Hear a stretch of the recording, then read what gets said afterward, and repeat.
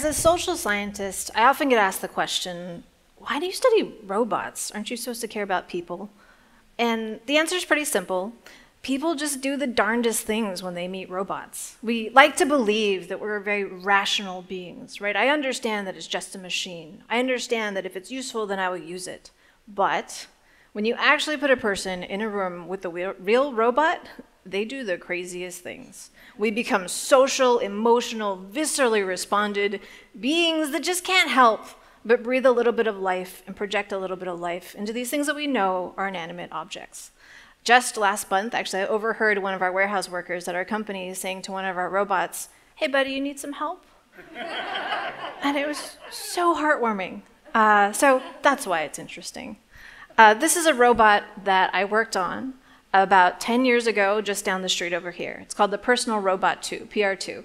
And it was very capable. It could roll around, it could grab things. It was designed to look just like Rosie and be just like Rosie and be helpful in your home.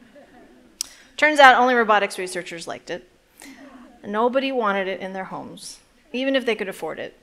And, you know, it was good for getting research done, but nowadays I'm working on trying to make robots and put them in places where people actually need them to be, and not just where pop culture tells us that they should be. Because I think pop culture tends to be a little overly optimistic and sometimes a little overly pessimistic about where these robots should go. They tell us that it's either going to be Rosie the robot for the Jetsons, or it's going to be the Terminator who's going to murder us all. I think our pop culture is suffering from a failure of the imagination right now. These robots don't need to look like us. It's just easier to put a dude in a robot dancing suit than it is to be a little more creative.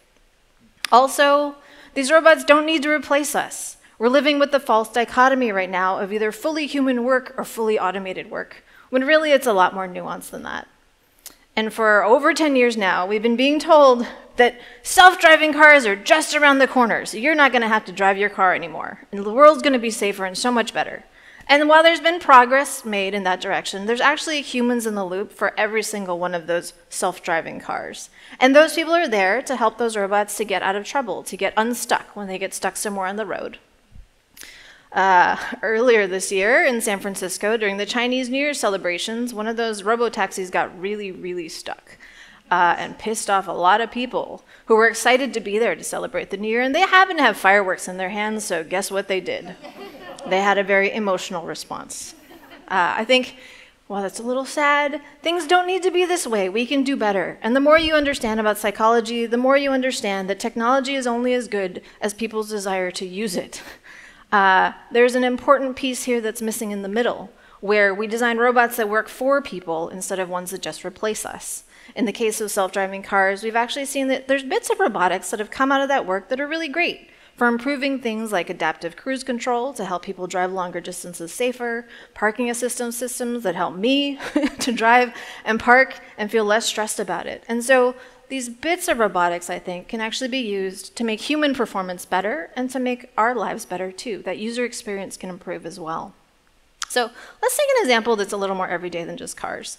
Uh, you've probably seen a pushcart. You've probably used one in a grocery store before, and wheels are an amazing invention that allow us to push things a lot further and carry more stuff. There's still a few pain points, though, with these things I think we could make a little bit better. So if you think back to maybe a family gathering you might have had or family reunion last, this last summer, uh, you may have been sent on the grocery shopping run, where you've got someone else's shopping list to shop in a store you're not familiar with, right? And that can be tricky. Now you got to find things in a store where you don't know where the items are. You need to dodge all those other people on those other push carts in that space. And when you actually go and finally get those groceries and load them up in your car, do you actually put that push cart back in its designated parking area? Uh, the real goal there, right, is to get in and out of the shop as quickly as you can without having to return later on because you bought all the wrong things. Let's take that up a notch and look at the lives of warehouse workers. These are folks who are shopping for more than one person at a time. They're probably shopping for dozens of people simultaneously. They're working in aisles that carry not only people with push carts, but now you've got forklifts and electric pallet jacks that you've got to dodge on that floor. You're working for eight to 10 hour work shifts and maybe even the night shift. So it's not surprising that people don't stick around in those jobs very long. They're really hard. And our increasing demands for e commerce goods, we love ordering on, online stuff, is making life really hard for these warehouse operators who just can't people, keep people around in these jobs for long enough to get that work done.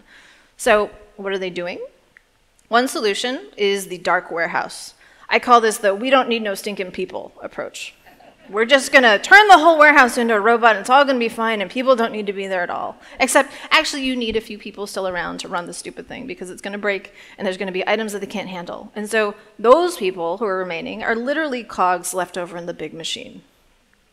Another approach is to make more humane warehouses where we provide better working environments, better tools, and better opportunities for the people working in those spaces so that they don't quit within just a few months of starting. I've met more than a few warehouse workers, some of them who've worked with their employers for over a decade, and they are proud of their work, they're creative in their problem solving, and they're resilient in the face of challenges. They made it through the COVID 19 pandemic and got us all of those test kits on time. So, what's a good day look like at work for them?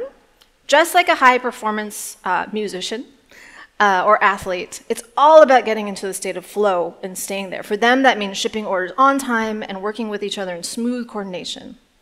That's a tough thing, that's a high bar for design. I think the question for us now is how do we design robotic systems that help them to keep in a state of flow? I take inspiration from one of my favorite computer scientists here, who said that these technologies, computation, all of these things that are supposed to be empowering people should get out of the way. They should be invisible in use. They should fade into the background of our experience while they're supporting us. And his favorite example of this was the carpenter's trusty hammer. That hammer is an extension of that carpenter's body. It enables him to do things without having to think about it. He's not thinking about the look and feel of that hammer or how to operate it. He's just using it to put the nail in the board. When you ask warehouse workers about their favorite tools, the number one answer is always the ride on forklift. And these things are pretty amazing. They enable us to carry way more stuff, to lift it way higher, and to drive with it way faster for long distances. Uh, they literally make people superhuman. And that's just like the carpenter's trusty hammer. So, taking inspiration from these tools, how might we design robots to do that too? At Robust AI, we're working on one answer to that question. We call it Carter because it's a cart first and it's a robot second. I'm going to show you some examples of how we're trying to make it ready at hand and to empower these people. And just so you know, none of these videos are sped up and none of them are teleoperated by a person. So what if using a robot was just as easy as using a tablet in your home? You could just use Carter's touchscreen to tell it where to go. And even when Carter is driving around all by itself, avoiding obstacles, uh, you can just grab its handlebar and tell it, no, actually, I want you to go over here instead. Right? So it's literally and figuratively ready at hand. And while it would make sense for these robots to drive around as efficiently as possible, it's also important that you don't zoom around so quickly with the people that you make them feel unsafe. That is a challenge that we're seeing right now with other systems in these kinds of warehouses. And so, what if your robot could respect the personal space of people in your environment? On the left here, you're going to see Carter noticing the person in the aisle and moving more cautiously around them. On the right, you're going to see Carter kind of squeezing by that box a little bit more quickly. Right? And so in this way, it can help to make people feel safe and be safe in those warehouses. Also, Carter, because it is a robot, it can speak to the warehouse management system. And so instead of having to use that checklist and figure out where to go next, Carter acts like a hunting dog telling you where it should go or where you might want to look for your next item on your list. And what if these systems could keep us out of harm's way? Uh, in a moment, you're going to see Carter being pushed down an aisle into a blind intersection. And when it sees that there's oncoming traffic, it's going to resist being pushed into that traffic. the nice thing about this is Carter can now help people to keep out of harm's way and keep itself out of harm's way. It's a guardian behavior to help people out to perform better at their jobs. Of course, you could imagine a future in which humanoid robots have all these same features. But I think one question to ask ourselves is how far away is that future? And how much is it going to cost? These warehouse operators are having this problem now. They can't find enough workers to fulfill our orders, especially for the upcoming holiday season now. So they need solutions that are actually going to work with the people that they've got. I think it shouldn't be surprising that when we design robots that become the stars of the show, that steal the spotlight away from us, people respond negatively. I think we have an opportunity instead to design robots that behave better when they're on people if we're going to accept them in our environments. When they don't behave well, we figure out ways to deal with them. Sidewalk delivery robots, for example, when they zoom around and get in the way, uh, get shoved aside, knocked over, and sometimes worse.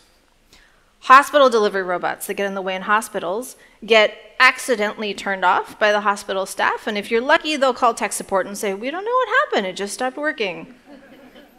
and self balancing robots that get in the way are going to get their balance tested, right? So I think uh, we can do better than this. We can design robots that fit better into human working environments and support people uh, more directly. So we have an opportunity now to advance a future in which people are the stars of the show and robots are just part of the supporting cast of characters. And I think that those robots don't necessarily have to look like people. I think the companies that are going to be successful in the next 25 years are not going to be the ones that are inventing science fiction futures, though that's fun. Uh, I think the most successful companies are going to be those that design robots that support people, that make sense to people, and can be deployed in an affordable and scalable way. The key to that success is going to be designing and deploying robots that speak to our human psychology. From a rational perspective, there needs to be a return on investment. Is the time and the money that I'm putting into this going to be worth the benefit that, get, that I get out of this from my team? But also, from a social and emotional perspective, do I trust this thing? Do I feel like it's part of on my side? Do I feel like it's respecting the people in my workspace? And so I think for me as a social scientist, it's fun to work in this space because we need these insights in order to figure out how to help to these robots to be successful when they come into contact with the real human world. Thanks.